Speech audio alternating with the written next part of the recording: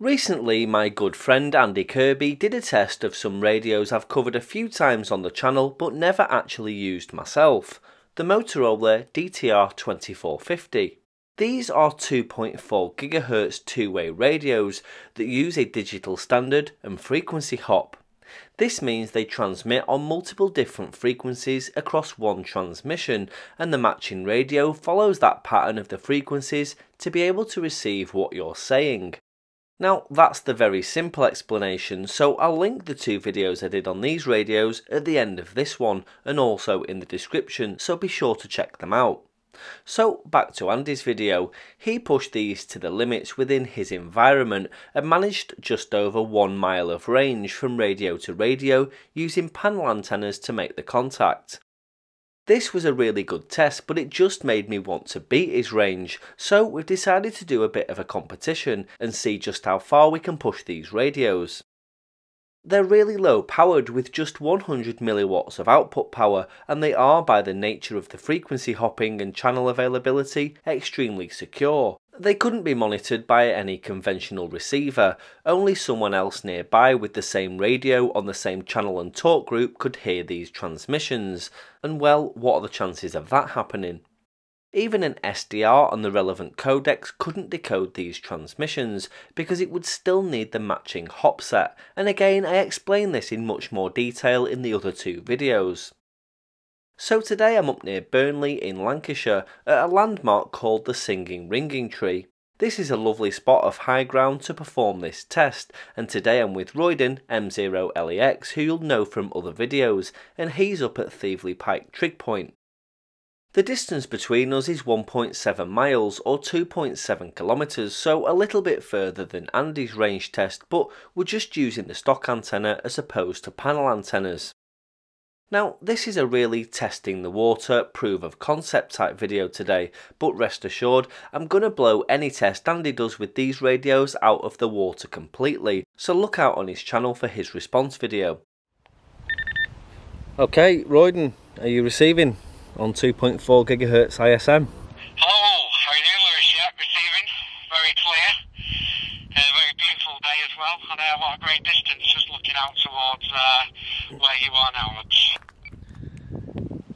Yeah, well, I uh, what what people watching this don't know is that I've just took a uh, a shot of where you are. See, we're a good couple of miles away.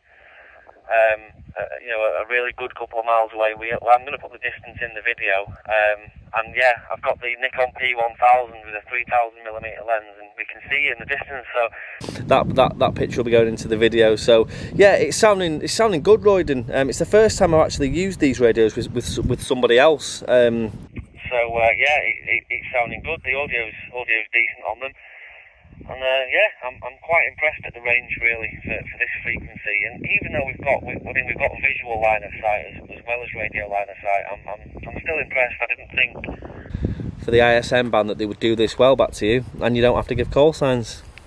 Yeah, well, what the the uh, watchers won't know is the Baofengs failed us then.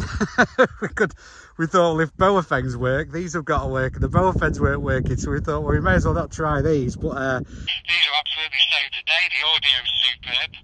Uh, absolutely cracking radios, loving it. For it's more than Wi-Fi over this uh, distance. Absolutely brilliant. Back to you. Yeah, definitely, definitely. Um, yeah, we tried on the Baofengs and, and there's a receive issue on one of them. Um, so yeah, we, we didn't quite make. We nearly abandoned the whole the whole thing, didn't we? So I've come to this location twice, and uh, yeah, second time lucky. So um, yeah, there's no packet loss whatsoever. It sounds very similar to IDEN. Uh, I don't know if you've if you've ever you, well you probably won't have done because they're not they're not legal over here, but they, they sound very similar to IDEN.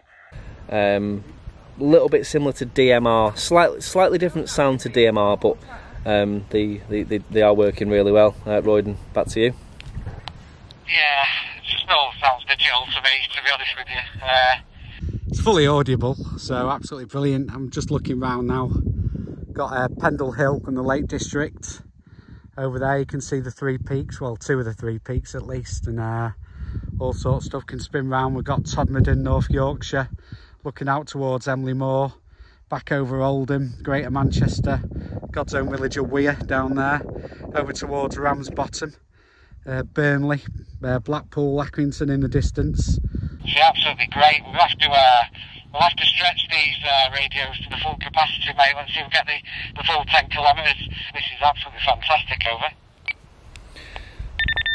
Yeah, um, nearly nearly gave me a call sign then. Um, yeah, no, it's it's working working really well. Um, like I say, signal and audio's audio's great. I'm not sure on where I'm looking at here.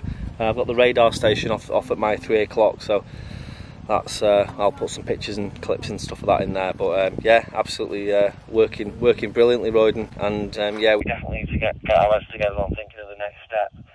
Um, long range distance, perhaps maybe in a more urban environment with some height across the city of Manchester or something like that. Uh, who knows? But yeah, we'll definitely get that in the pipeline.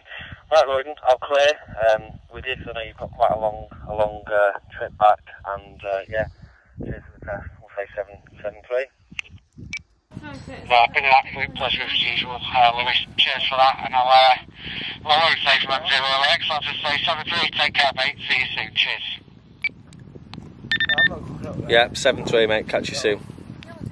So as you can see some good ranges there and it's still impressive considering we're using frequencies up in the 2.4 GHz range as well as stock antennas and an output power of just 100 milliwatts. As I said I'm going to increase the ranges of these considerably and I've already ordered some bits of hardware to carry out some serious testing in the future.